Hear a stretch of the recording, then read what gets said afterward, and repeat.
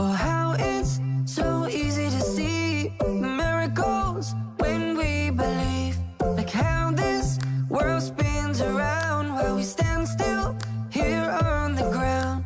And this heart beats thousands of times, and it's not me that makes it beat on time. Have you thought about all the seeds we sow? How the fruit comes?